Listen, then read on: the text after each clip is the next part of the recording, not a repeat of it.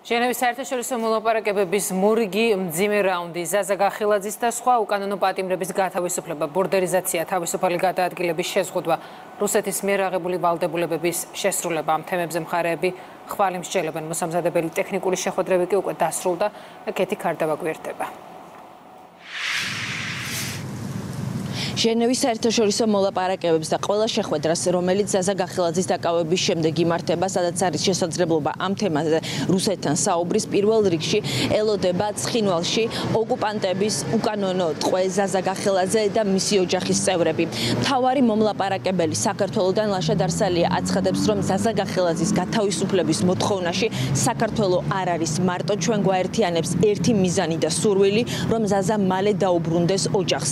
იმ ორგანიზაციას ორგანიზაციებს, რომლებიც არიან თანათავმჯდომარეები ჟენევის საერთაშორისო მოლაპარაკებების, უკვე არაერთი განცხადება აქვს გაკეთებული იმის თაობაზე, რომ იმ ყოველ დღეზე, რომელსაც ზაზა ატარებს ხინვალში, პასუხისმგებელია რუსეთის ფედერაცია და მისი უპირობო დაუყოვნებლივ გათავისუფლება უნდა მოხდეს. გახელაძის საქმე არ არის ერთადერთი ძიმე ჰუმანიტარულ მდგომარეობაზე, საგანგაშო ვითარებაზე, ჩაკეტილ გადასასვლელებზე, რუსეთის საერთაშორისო სამართლის ნორმებიდან გასვლაზე იქნება.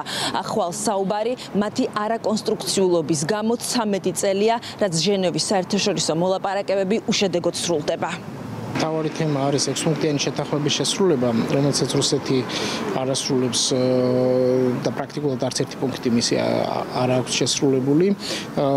თვითონ ექსპუნქტიანი შეთანხმება მოგხსენებათ არის ძალიან მნიშვნელოვანი დოკუმენტი, რადგან ეს არის პირველი ნაბიჯი სულ კონფლიქტის სულ მასშტაბიანი მოგვარებისკენ, ეს არის პირველ რიგში დაბრუნება სტატუს კვონდი ომამდელი, რომლიდანაც უნდა დაიწყოს კიდეც შემდგომ სულ მასშტაბიანი მოგვარება კონფლიქტის. თავარი რაც არის, აქ არის ჩართული ყველა ის მექანიზმი, ყველა ის ინსტრუმენტი, რაც რაც არსებობს, ეს პირველ რიგში არის ჩვენი პარტნიორების აქტიურობა, ანუ ამ საკითხში, ისევე როგორც ყველა სხვა საკითხში, საქართველოს მარტო არ ცდილობს ამ საკითხის მოგვარებას. უმთავრესი საკითხი იქნება ჩვენი მოქალაქეები, რომლებიც უკანონო ტყვეობაში მყოფებიან, როგორც აფხაზეთის ოკუპირებულ ტერიტორიაზე, ასევე ცხინვალის რეგიონში და ჩვენ მაქსიმალურად დავაყენებთ მაქსიმალურად მწვავე დავაყენებთ ამ საკითხს, რათა უპირობოდ მოხდეს საზა გახელაძის, გენადი ბესტაევის და ირაკლი ბებუას გათავისუფლება. ჩვენ მოლაპარაკების ფარგლებში ყურადღებას გავამახვილებთ ყველა ჰუმანიტარულ საკითხზე და განგრძობადი ოკუპაციის ფარგლებში ჩადენილ ყველა დარღვევაზე.